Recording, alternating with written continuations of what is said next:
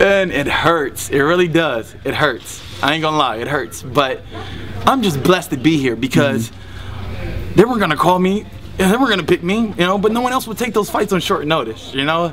So I'm just blessed. I'm blessed. You know, God blessed me to get the W, and that's all I can pray for at the end of the day. But it does hurt. It does hurt to be like I feel like the Jay Z fight. I'm fighting the top one of the top ten guys in the world, and it's not gonna go on the main card at all. And then the next fight, okay, I have to work my way through it. I have a loss, so I have to work my way through. It. I understand. That's understandable. And this one was just like the insults. You know, I'm like, oh, the first one, the first. Oh, it's not gonna be on anything all that hurts, you know? Well, both you and Terry were doing well up at, the, at this point. Um, yeah. Um, you know, I felt like you guys were two up-and-coming prospects. Uh, it, this isn't any kind of punishment or anything like that. Like, you didn't do anything wrong that we don't know about, did you?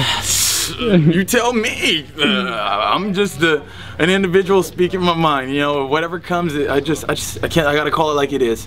Um, Terry is the hometown boy. I would thought that you would have let him, you know, get a little bit more up in the cards so he could build that crowd up some, you know. But hey, we popped the show off and we popped it off right. You Split know? decision. Tell us about the fight.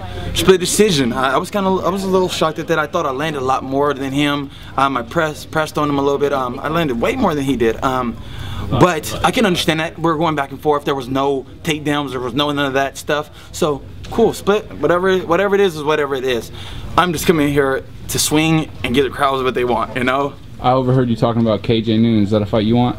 Yeah, yeah. Um, KJ calling himself king. I did not know this. I just figured this out. Um, my buddy's like, hey, did you know KJ called himself king? Hold on a second so we're both kings at 55. That's unheard of. I can't do it. You know, I can't do it. One of us has to change our name or something. You know. Are you gonna have to fight him for the nickname, like like? Uh, exactly. Did, not you do that with Ricky Legere? exactly. Yeah, yeah, for the IE. Yeah, I've been following that career for a while. I know what's up. Good. Uh, thanks, bud. I really appreciate that. You know, yeah, I'm yeah. just out here, just another soul out here trying to put MMA on a new level. You know, we're trying to push it to the new. So, me and Terry were trying to entertain the crowd. We're, we're hyping each other up. We're talking back and forth. And, uh, come on, let's go let's go, you know? So I'm just here to entertain, but you know, thanks so much. Thank you so much for having me, you know?